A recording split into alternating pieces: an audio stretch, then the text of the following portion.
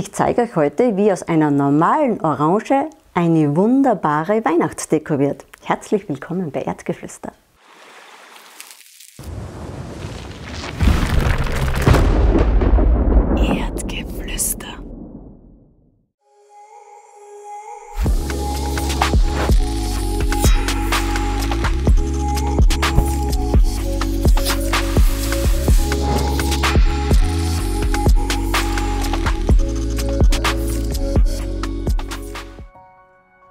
Zum Orangenritzen brauchen wir natürlich Orangen. Die sollen eine feste Schale noch haben, also sie dürfen nicht, äh, nach, nicht viel nachgeben, wenn man hineindrückt. Also je frischer die Orange, umso besser. Es geht genauso gut mit Zitronen und Limetten und der Hammer. Wenn ihr selbst ein Zitronenbäumchen daheim habt, dann ist das sowieso der absolute Wahnsinn, denn dann könnt ihr die genauso verwenden und die stammen von eurem Garten. Das allerwichtigste Werkzeug ist ein Ziseliermesser. Wenn ihr so etwas noch nicht habt, der Link, wo ihr das äh, bekommt, ist in der Videobeschreibung. Ja, jetzt fangen wir an. Äh, wenn ihr so etwas noch nie gemacht habt, dann fangt mit ganz einfachen äh, Mustern an. Zum Beispiel, die, das ist das obere von der Orange und das das untere und immer von oben beginnen. Jetzt machen wir nur mal ganz normale Streifen so hinunter. Äh, nicht zu fest andrücken, damit das weiße, äh, die weiße Haut unterhalb nicht verletzt wird. Das ist ganz wichtig. Jetzt fangen wir mal an und schneiden bis zum unteren Ende. Und die weiße Haut, da muss man wirklich darauf achten, dass die nicht äh, verletzt werden ähm, oder ver verletzt wird, denn wenn die Orange trocknet, dann springt die Haut. Und dann sieht man das Fleisch darunter und das schaut erstens nicht schön aus und zweitens, wenn man die Orangen lange aufhebt, kann sein, dass da Motten hineinkommen. Also da muss man wirklich aufpassen. So, und jetzt fangen wir an, die zweite Rille zu machen und immer ein bisschen mit dem Finger dagegen drücken und mit der Hand auch ein bisschen. Die nächste Rille. Und immer schauen, dass man zum unteren Punkt kommt. Jetzt probieren wir ein bisschen was Schwierigeres. Und das habe ich noch vergessen zu sagen, der Stielansatz da oben, der Knuppel, der gehört immer weg. So, und jetzt fahren wir da herum, den ganzen Kreis entlang, bis er sich wieder schließt. Äh, ihr könnt zum Beispiel das auch vorzeichnen mit einem Stift. Ich mache es nie so, denn ja, mit dem Vorzeichnen weiß ich nicht, ob ihr euch da leichter tut. Ihr müsst das einfach probieren. So, fangen wir da an. Jetzt machen wir wieder einen Kreis und gehen mit der Orange immer so ein bisschen, geben immer ein bisschen nach. Und jetzt schauen wir einmal, wo ist der Anfang, dass wir da ja zusammenkommen. So, und jetzt schließen wir den Kreis. Und jetzt machen wir wieder solche Strahlen bis zur Mitte. Und immer schauen, da unten muss immer ein bisschen breiter sein wie oben, ist ja klar, weil oben wird es immer wie schmäler. Ich mache zuerst immer äh, die Basis, so wie, wir jetzt, so wie wir es jetzt gemacht haben. Denn dann kann man mit jedem Muster gut weitermachen. Jetzt werden wir mal nur so kleine Bogen machen. Wieder von da weg. Und immer mit Gefühl nie zu fest, dass man ja nicht die untere weiße Haut verletzt. Und immer ein bisschen mit Gegendruck. Und jetzt kommen wir zum Ende. Da schaue ich immer, wie geht sich das jetzt mit dem Muster aus? Geht sich das jetzt einmal noch aus oder soll ich zwei Bögen machen?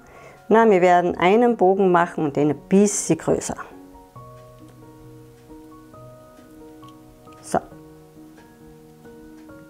So, und jetzt können wir die Halbkreise noch einmal nachziehen.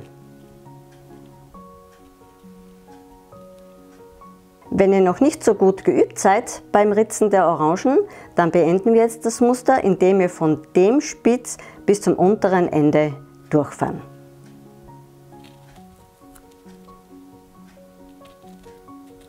Und mit der Zitrone geht es ganz gleich. Dann machen wir wieder einen Kreis um die Zitrone herum. Schauen wieder, wo das Ende ist. So.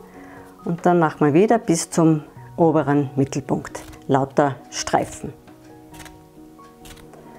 Und wir machen lauter äh, Kreise um die Zitrone. Und wiederum achten, dass man ähm, die weiße Haut ja nicht beschädigt. Und hm, jetzt machen wir wieder gerade Striche bis zum unteren Mittelpunkt. So, und die Zitrone wäre fertig.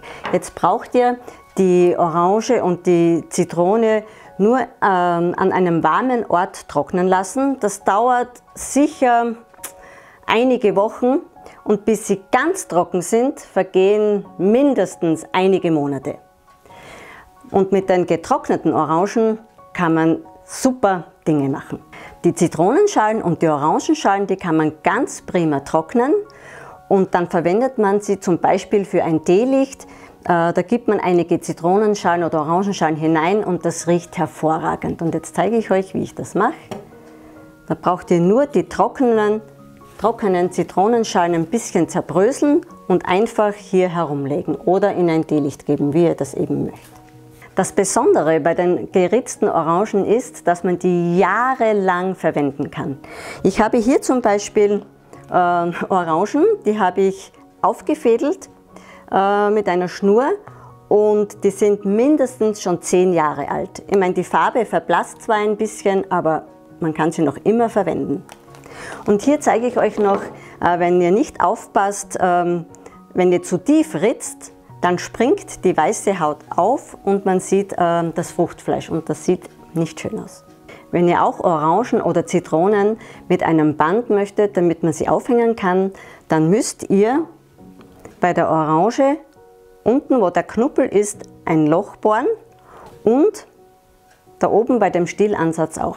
Und das geht recht schwer, äh, das ist ziemlich hart. Da braucht ihr unbedingt einen Bohrer. So, die Löcher sind gebohrt. Und jetzt braucht ihr eine, äh, eine Webnadel, die ist ziemlich lang und auch dick. Und, und ihr müsst da ein bisschen herumprobieren, denn das Gerüst vom, äh, vom Orangenfleisch ist ziemlich stabil noch. Da müsst ihr das ein bisschen durchstoßen und dann kommt ihr locker mit der Nadel durch. Jetzt fädeln wir den, äh, das Band ein. Und ziehen die das Band oder die Schnur, was ihr eben habt, durch. Das geht am Anfang ein bisschen schwierig. So. Jetzt müsst ihr unbedingt unten einen großen Knoten machen, damit der Faden nicht wieder durchgeht oder das Band. So, jetzt schauen wir mal. Ziehen wir an, vorsichtig. Ja, der Knoten hält. Das Stückchen schneiden wir weg. So, und die Orange ist fertig zum Weiterbasteln. Ich könnte da auch noch ein Holzkugel oder mehrere Kugeln oder ein Tonkugel, wie ihr es eben gerne möchtet. Und was man jetzt aus den Orangen oder Zitronen am Band alles machen kann, das zeige ich euch jetzt. Hier bei dem Gebilde habe ich einen Blauregenring geflochten, dann mit Efeu umwickelt, damit ein bisschen was Grünes ist, einen Tonstern daran gehängt und hier unten habe ich äh, mehrere solche Orangen mit den Bändern zusammengefasst, einen Knoten gemacht, so wie hier jetzt, das zeige ich nur kurz, und einfach so dann befestigt und die Schlaufen da vorne lassen. Und ich finde, es schaut hübsch aus. Hier sieht man es gut, welche Muster man alles verwenden kann.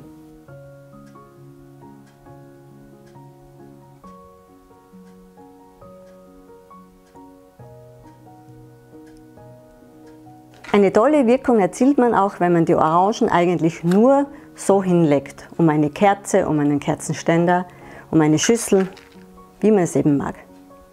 Und hier noch eine kleine Gestaltungsform mit der Orange als Höhepunkt.